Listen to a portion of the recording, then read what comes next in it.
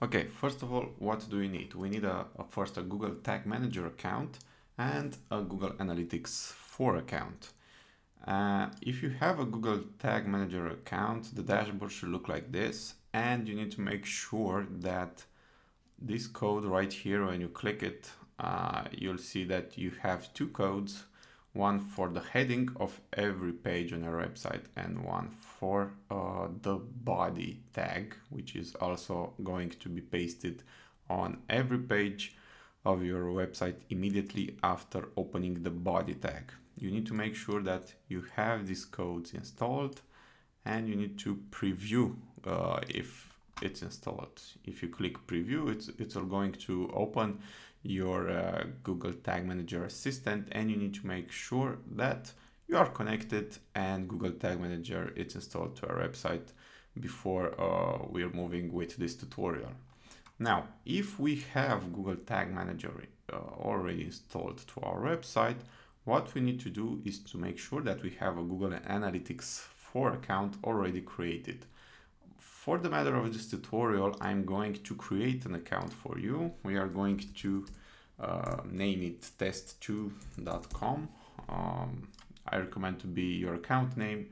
Uh, also your website name if you have multiple websites this will going to help you um, the property name just the same test2.com here you're going to put your um, your reporting time your uh, uh, your currency, if you have an e-commerce website, and some details about your uh, organization.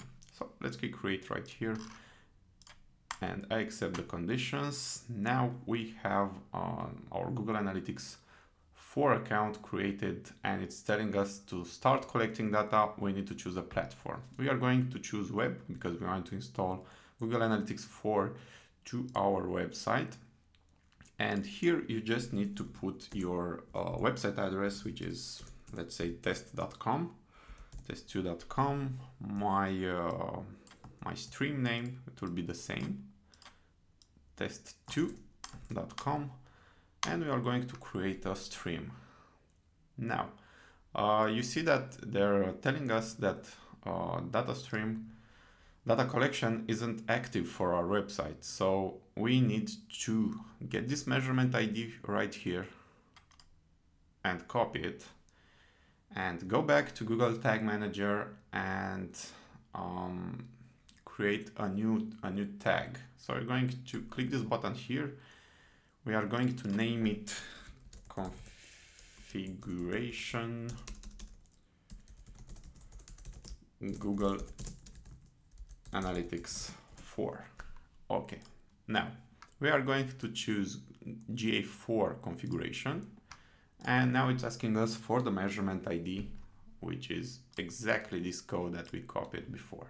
Okay, so we're going to put this code and we're not done yet because we need to trigger this event on every uh, page of our website. So this is going to be done by clicking all pages. So we want for this measurement ID to be triggered on every page view from our website. If you do that, we click save and very, very important, we need to submit the changes that we, we do on uh, Google Tag Manager by publishing, continue.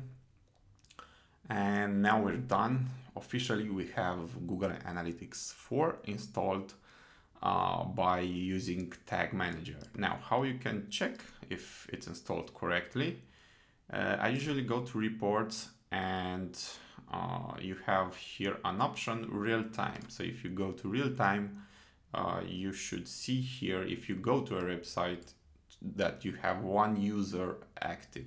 Usually it takes like five, 10 minutes, maybe half an hour um, because it's not instant. They will not uh, this uh, Google Analytics 4 will not see you instant on our on your website. But my recommendation is to go uh, with your phone or with other device uh, on your website just to make sure that uh, it's tracking traffic. Your IP address might may not uh, may not be tracked by Google Analytics 4, but uh, if you ask a friend or you go with uh, your phone on your website, you should see here that uh, it's tracking users uh, in the last 30 minutes. That's it for today. I hope you liked this video. Please don't forget to like and subscribe. And if you have any questions, uh, please comment below or shoot me an email. I'm going to leave my, my email address just in case that anyone has uh, any queries or help. I wish you a wonderful day, guys.